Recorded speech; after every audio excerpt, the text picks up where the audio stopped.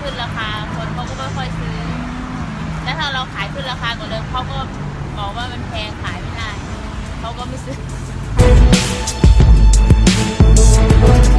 ก็มีค่ะก็หนึ่งก็คือเวลาที่เราเราเราเราทำอะต้นทุนมันสูงขึ้นข้าวเหนียวสูงขึ้นก็ต้องปรับราคา แต่บางทีก็จะขายขายให้แพงขึ้น ก็ลูกค้าบางทีก็ไม่เข้าใจก็ต้องค่อย ๆ บอกอะค่ะว่ามันมันมีสาเหตุจากอะไร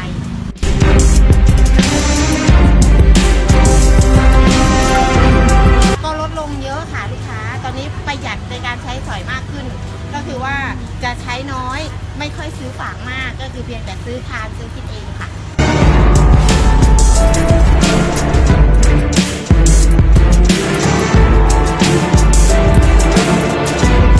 ก็ต้องทำเหมือนเดิมค่ะ เพราะว่าก็ถ้าเกิดเราลดปริมาณลง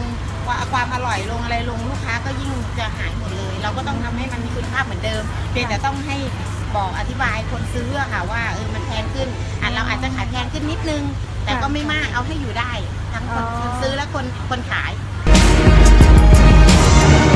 ก็อยากให้ให้มาอุดหนุนเหมือนเดิมนะคะ ที่ตลาดหนองมนข้าวหลามเอ่อขนมจากของแห้งอะไรก็ยังมีคุณภาพดีเหมือนเดิมค่ะแม้แต่ว่าต้นทุนมันจะสูงขึ้น แต่ว่าก็จะพยายามทำให้มีของมันมีคุณภาพ ค่ะ อ่าถึงจะแพงขึ้นนิดหน่อยก็ช่วยเหลือกันหน่อยแล้วกันนะคะ เพราะว่าต้นทุนมันมาสูงมาก ทุกคนเอ่อจะเข้าใจอะค่ะ